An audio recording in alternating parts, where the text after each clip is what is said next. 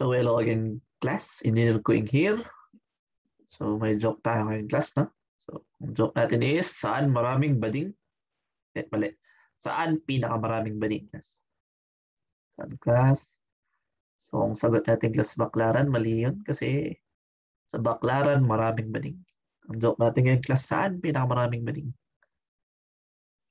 So saan class? Eh di sa room. So bakit sa room class? Kasi andun yung papa. okay, so for today class, share ko lang yung screen now. We're to discuss class experiment number 4 entitled bulk density and voids of course aggregate. Okay? So ang pinaka-objective natin class for today is ito. Siyempre yun yun. To determine class yung dalawa. So dalawa yan class, no? Bulk density tsaka yung voids. Tapos ang focus natin ngayon class is yung course aggregates. Okay? So yan yung ano natin? Objective. Okay? So ang pinaka ASTM reference document natin for today class is yung ASTM C29. Specifically class bulk density or unit weight and voids in aggregate. Okay? So more or less, kasi kung titignan nyo kasi, no, ang bulk density, unit weight, in a way, parehas yan. Okay? Parang, di ba, para lang makuha mo yung class, yung unit weight, yung multiply mo lang yung density ng gravity. Okay? So more or less, class magpinsan yan kasi parang ang pinaka-difference lang nila class is yung constant na acceleration due to gravity. Okay? So ang apparatus natin class for today, ito. So titignan nyo class yung balance. So saan ba dito yung balance? Ayan. So ang balance natin class, yan, scope yan eh. Ito. Okay? So yan yung balance natin. So ang balance natin ngayon class more or less course aggregate kasi yung pinag-uusapan natin. No? So yan, accurate siya class to the 0.05 kilograms or 50 grams. Okay? Mali yun. Pero ganun kasi accuracy ng balance natin. Kung titingnan kasi ka scores aggregate, mabigat na yan. Okay? So more or less class, stick tayo to the 0.05 accuracy of balance. Okay? So meron tayong thumping rod class. So yung thumping rod natin class, ganito yung itsura. So more or less class, isa lang siyang cylindrical metal. Ang diameter niya class is mga 16 mm. Okay? So bakal lang yan. Okay? So meron tayong volume measure class. So yung volume measure natin class, it is defined as ito. A cylindrical container class is watertight with known dimensions. Okay? More or less class, mammeasure natin yan. Yung inner diameter niya class, tsaka yung inner height. Okay? Tapos meron tayong shovel or scoop. So more or less, yan lang yung pang scoop natin yung aggregate kasi parang pinaka gist ng gagawin natin ngayon class, maglalagay tayo ng aggregates dun sa uh, measure, tapos yung top natin. Tapos meron tayong pail. Meron tayo, mas alam natin yung tsura ng pail, di ba? Tsura ng pail class, syempre, dyan natin nalagay tubig. So at the end of the experiment, kasi class, supposedly we're to get the weight of the aggregate, the measure, tapos yung water. So, kailangan ng pail class to store the water. Tapos for it to be transferred from the pail to the measure. So more or less class, kailangan natin mag-transfer ng water dun sa measure. So dapat yung measure natin class, watertight. So, wala siyang butas class. Kaya niya mag-handle ng tubig. Okay? So dito na tayo sa procedures class. So ano yung procedures natin class? So first step, dapat kumuha lang tayo ng uh, representative sample class. Okay? So yun nga. Magandang representative sample class is kunin natin by quartering. So yun yung pinakamadaling way talaga class or method para makuha ng uh, representative sample. Okay? So after natin makuha yung sample natin, class, kailangan natin i-ready yung measure. So paano natin i-ready yung measure, class, more or less, kukunin lang natin yung dimensions niya para ma-compute natin yung uh, volume niya mamaya. Ayan, compute inner volume. So again, class, ang sinusolve dapat natin is yung inner volume. Okay? Kasi class, yun yung gagamitin natin. Siyempre, more or less, kasi kinukuha natin yan, yung volume ng aggregate. So kung titignan nyo kasi yung measure natin, no? yung measure natin, class, medyo may thickness yan. Yan, di ba? Kasi bakal yan. So ang i-measure natin, class, yung inner dimensions para makuha natin yung inner volume. Okay? So yun, class, pag na-ready na natin yung measure, class, meron pala tayong table sa pagpili ng measure. Yan. Depende siya lagi class kung ano yung maximum uh, nominal size ng aggregate natin. So depende naman yung class, no? So pag sinabing nominal, parang yan yung average in a way. In a way. Okay. So yan. So yan yung, ito yung table natin class. Again, yung table natin class, bibigyan yung minimum volume ng measure na gagamitin dapat natin. Okay? For a given maximum size of course aggregate. Okay? So yan. So parang more or less, experiment to class. Kukunin natin yung weight ng measure, tapos isa-solve natin yung uh, volume ng measure. Okay? So given this table class, dapat alam lang natin kung anong measure yung corresponding na gagamitin natin. Kasi kung titignan nyo kasi pa iba-iba yung uh, volume niya. Rather, capacity class measure natin. Okay? Okay. So step number three class, syempre, ang pinaka-gist lang kasi nang gagawin natin class, no? Lagay tayo ng aggregate dito. Diba? Nakapili na tayo anong measure. Ngayon, ilalagay natin class yung aggregate natin. Tapos, itatamp natin class para medyo parang mga level siya class. Okay? Tapos in a way class, makompact siya. Okay? So, yan. So, ang galawan natin class, more or less, ang pinaka-gist, ito kasi yung standard. Okay, so you measure, hatiin mo into three equal volumes. Or like, since parehas naman yung diameter niya, class, no? Three equal heights. Okay, so yung tatlong yan, class, yung first one-third, lalagyan mo ng, ano, o titignan nyo, field, no? First one-third. Tapos, i-level natin. Tapos, saka mo siya ito-tamp. So, ang tamping natin, class, gamit mo yung tamping rod, 25. Ang galawan, class, sa pag-tamp, taas mo yung rod, bitawan mo. Para more or less class, ang force lang nahihila dun sa rod, yung gravity. Kumbaga hindi mo siya pepersain pababa. Bitawan mo lang class. Taas mo yung rod, bitaw, mahuhulog siya. Gawin mo yung 25 times class. Siyempre, evenly distributed over the surface. Okay, so kung pag ganyan class yung top view natin, top mo doon, top mo dyan, i-distribute mo yung tamping mo. Yung 25 blows na yun. Okay? So, ganun yung galawan class. So more or less, pag taos ka ng 25 blows class, lagyan mo na yung two-thirds. Diba? Lagyan mo na aggregate. Tinap mo 25 times. Lagyan mo naman yung two-thirds na. So more or less, lagyan na yan ng yan. Aggregate. Okay? So ang kailangan natin class more or less, dapat itatap mo siya to the point class na hindi ka nalalagpas class dito. Okay?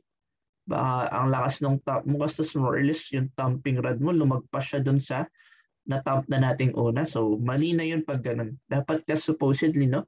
Pag nagtatap na tayo dun sa two-thirds, huwag nating i-penetrate yung previous layer. Okay? So, same procedure class. Tapos lastly class, yun na. Punuin na natin to the brim class. Tapos, tap ulit natin 25 times. Okay? So, after tamping class, ito na. I-level na natin yung surface niya. So, ang gusto natin class, no? Ito, diretso yan. Yan. Wala dapat masyadong nakaprotrude. Okay? So anong gagamitin natin class? Gamit yung fingers natin or anong straight edge. So pwede na rin yung rod para ma-level yan class. Okay, so parang dapat uh, medyo walang lalagpas dun sa uh, brim niya. Okay? Yeah. Tapos, uh, while yun nga, while leveling or like, yeah, or, uh, while leveling to class, dapat wag natin siya i-compress. Okay? So after nun class, doon na natin makukuha yung second data natin, yung weight number 2 defined as yan. Lagay na natin class yung weight nung uh, measure tsaka yung aggregate na na level doon sa uh, weighing scale natin. So yun na yung second data natin class. Okay? After natin magawa nun class, kukuha na tayo ng uh, pail with water. So pupunuin na natin yung tubig. So more or less yung tubig na yun. No? Hanggang medyo mag-overflow para parang to the brim siya. Parang ginawa natin class, pinuno natin yung voids ng tubig. Tapos doon na natin class, kukunin again yung ating third data. Technically, fourth na siya kasi yung unang data natin, di ba, yung weight tsaka yung volume. So ito na pala yung pangatlong data. So yung last data natin class, fourth and final data natin yun.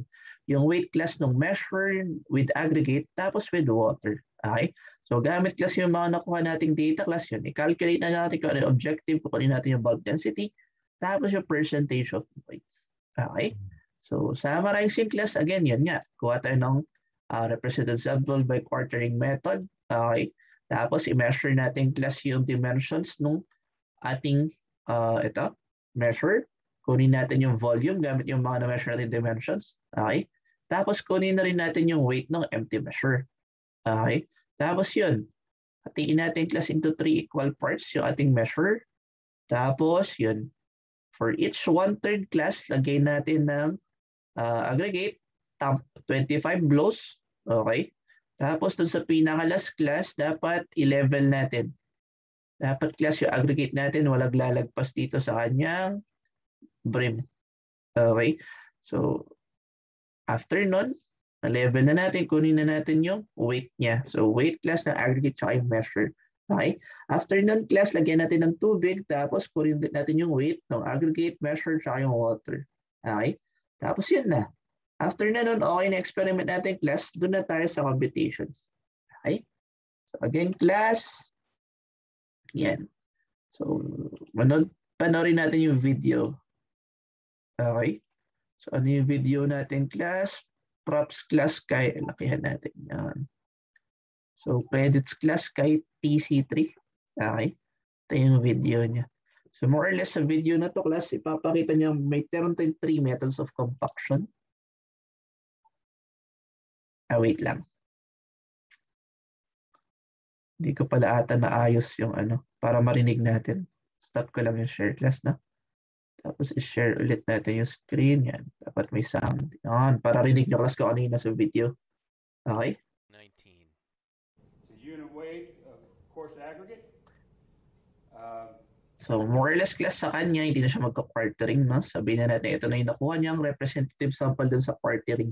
Uh, isipin niya lang kasi yung apat. Siguro yun natin niya. Tapos kumuha na siya ng one-fourth. Linagay niya dito. Okay. So tuloy natin class. we're going to be using the measure. The measure that we use Hmm. Yan pala class no. So yung measure na ginagamit, more or less kinakalibrate nila yan. Paano nila kinakalibrate class? Ah, yeah, lalagyan nila ng tubig class, no? So may measure nila yung supposedly na temperature ng water. Ang density kasi class ng water depende yun sa temperature, no?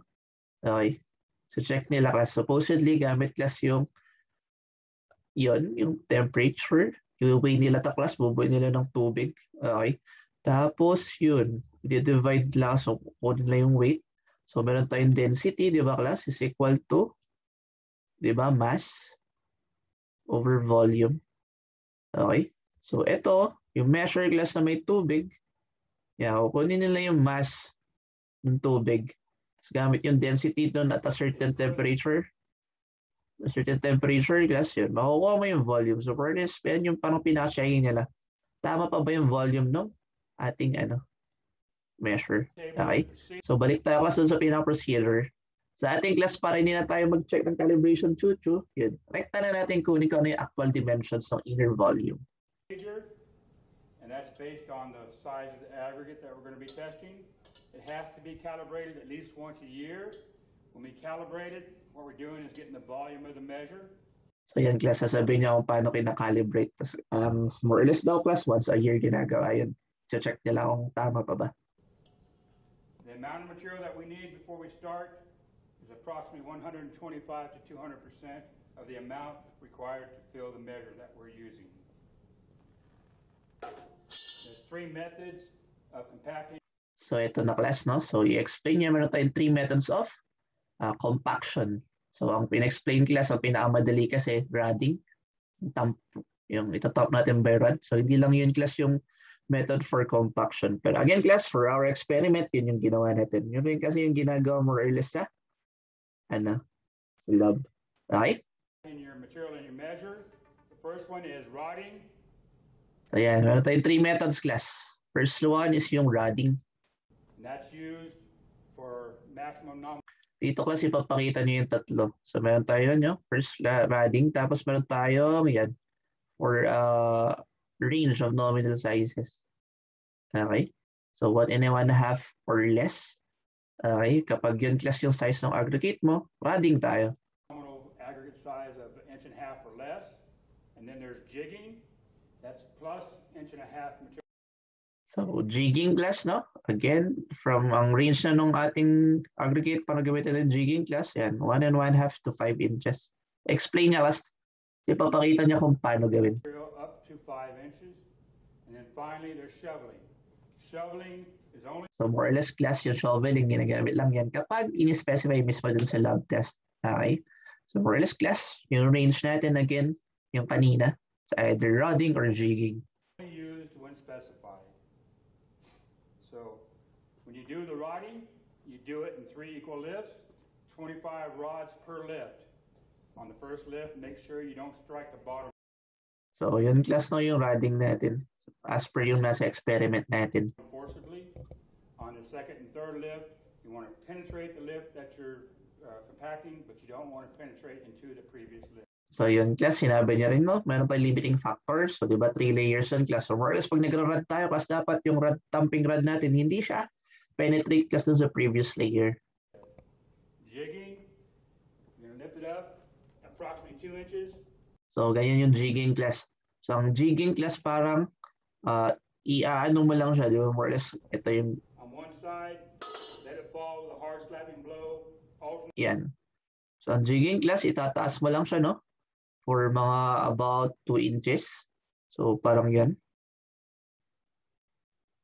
Tapos ibabagsak mo. Tapos nasa other side naman, tataas mo, babagsak mo class. to the other side, two inches, let it hit, hit with a hard slapping blow.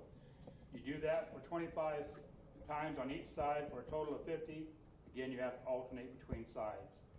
So this time class yan, 25 times for each side. So all in all class 50 plus. Inulit ko lang sinasabi niya. no? shoveling. It's one continuous lift. As you discharge your material using either your shovel or your scoop, Yan. So pag shoveling naman class more or less, wala na siyang hindi mo siya atin into three layers. This time class continue siya hanggang mapuno. Okay? So para ang pinakaano lang dito class, parang hintayin mo lang na mahulog lahat. Kung bakit hindi mo siya i-compact at anyway. Okay? Ang gusto niya lang class, dapat daw yung ating shovel, hindi siya tataas na more than 2 inches from the mouth of the measure. Okay? Kasi class, pag sumobra na daw sa 2 inches, meron tayong segregation. Sinasabing segregation, class, yan na yung mas mabigat yung mas mauuna. So kung titignan mo class yung itsura, no? Pag inati mo sa gitna, lahat ng mabibigat, so yung malalaking bato nasa baba. Tapos pa konti na siya na pa konti. Pa smaller sizes class. Para na-segregate na siya. Lahat ng malalaki, tapos yung medyo malaki, tapos yung maliit na yung pinaka nasa taas. Ayaw natin class yung segregation kasi more or less, ayun, bias na siya. Gusto kasi natin class dapat ah, equally mixed. make sure you're no more than two inches away from the top rim of your measure as you discharge. And you want to make sure as much as possible to avoid segregation. So it's best to work around the measure. Ayun. Tapos another way daw class para maiwasan segregation, ikutin mo daw class. So dito ka at one point, tapos habang nilalagyan mo class, parang ihalo mo. Parang go around class the mouth uh, when discharging the aggregate. Okay? measure as you discharge. I'll demonstrate all three, but I'm not to do the So yun. So ang gagawin niya class, demonstrate niya yung tatlo. Pero hindi niya gagawin for every layer. So ang gagawin niya class, first layer, papakita niya yung rodding. Second layer class, second two-thirds. So second uh, thirds, two-thirds layer. Papakita niya class yung jigging. Tapos dun sa last layer class, yun na yung shoveling. entire procedure for all three. I'll use the first lift, I'll do the rodding. Second lift, I'll do the jigging, and I'll finish off with the third lift of shoveling. So first lift, gonna be rodding. I fill it one-third full. Okay, so yun class, one-third full. Level with fingers. Use the rod. 24, 25 strokes. Ayan, so Fill it off with i-level niya. 25 times. So, more or less daw class in terms no, of rodding, yun nga, mas magandang parang, yeah, yun yung as per ASTM eh. Kunin mo class, no? Taas mo yan. Bitawan mo. Taas, bitaw, taas, bitaw. 25 strokes. Yan. Tapos be careful class not to strike the bottom of the measure.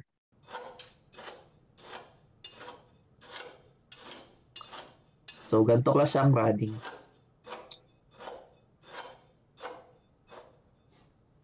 Again, on the second and third lift, make sure you don't penetrate into the previous lift. You can mark the previous lift before you start there. Ayan.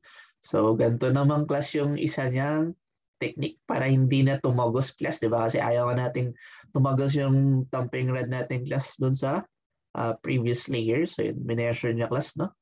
Parang ginanyan niya dun sa brim. Tapos, hindi na niya aalis yung kamay niya dun class niya. Irarad na niya. Ah, mag- maganda nga palang ganyan, no? Kaya wag mo nang bitawan class para sure na hindi ka na lumagpas.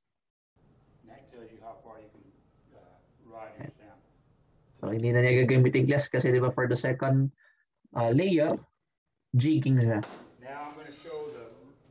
Again, para lang makita natin, no? Pero sa ating experiment class, more or less, full rod tayo. The jigging is for plus inch and a half material up to five inch. So it's going to be a larger uh, measure. Uh, the smaller measure, it's hard to get a hard slapping blow, but I'll do the best I can. And it wouldn't be done in a pan like this.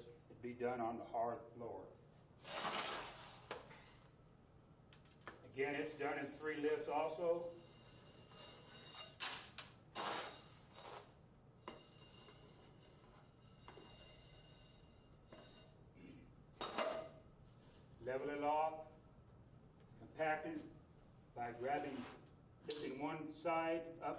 22 inches. That it hit with a hard slapping blow, alternate to the other side. That it hit with a hard... Ayan. So, ganun ang jigging class, no? Taas mo lang yung uh, one side, sabagsak mo. Tapos opposite another side, the previous side class, no? On the other side, ganun ulit. Ulitin mo lang class, 25 each side, so dapat 50 lahat. Hard slapping blow. Hmm. Do that 25 times on each side for a total of 50 times. Finally, the shoveling. Again, it's only used when specified.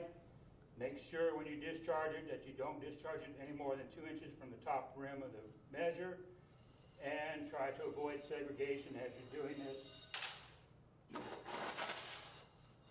So, ganun class. Okay. So, again, class, for our experiment, strictly radding lang tayo for the three layers. Okay? So, dito class, pinakita nila yung three different methods in compaction. Compacting the aggregate within the measure. Okay?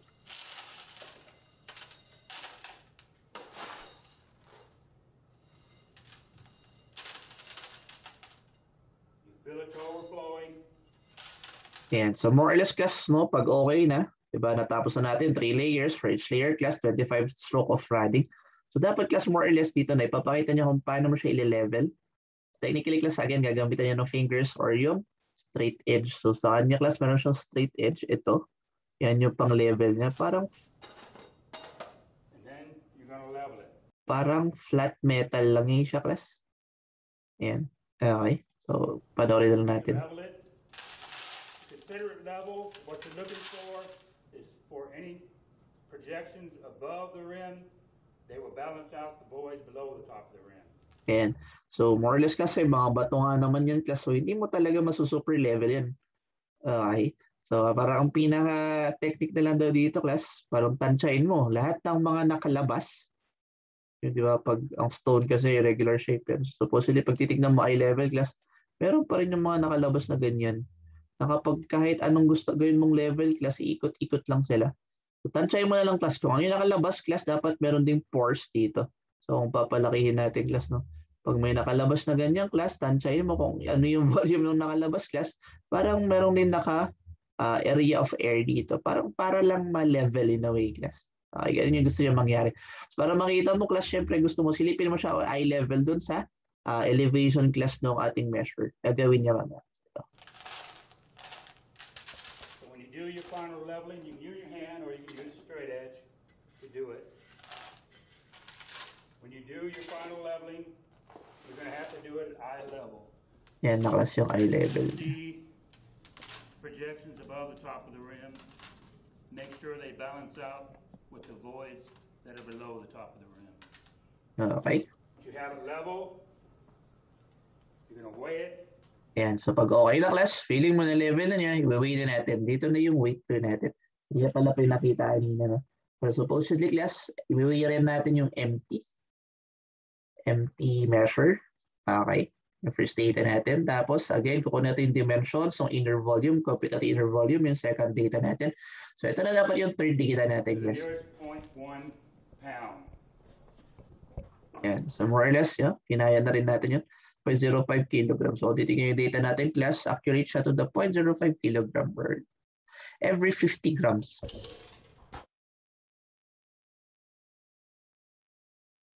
Sa kanila naka-pound kasi. Okay? Tapos yun, class. After na yan, class, no? Kunin natin yung last data natin. Again, lalagyan, wala kasi dito sa video. eh. So, lagyan mo ng tubig, class, is iwi mo na lang siya. So yun na yung last data natin. So para last data natin class is yung weight ng measure, aggregate, tsaka yung water. Okay? So with that class, pag na-common lahat ng data natin, yun na. So pag nakuha na natin class yung data natin, yan. Yeah. Mako-compute mo na class ito. Yan. So ang i-compute natin class, syempre yung volume of measure. So yung volume of measure class, pare-parehas yan. Ah, ito, ito pala class na. So again, yung given data natin class, again, gagamitan natin siya ng, so sabihin na natin meron tayong limang trials, no? Yeah. Gamitan natin class ng SLU ID number natin dun sa missing data. Tapos ito class, so more or less daw class, dapat meron tayo, ito. Okay, meron tayong nominal, maximum nominal size of aggregate class 25. So as per yung table natin dito class, no?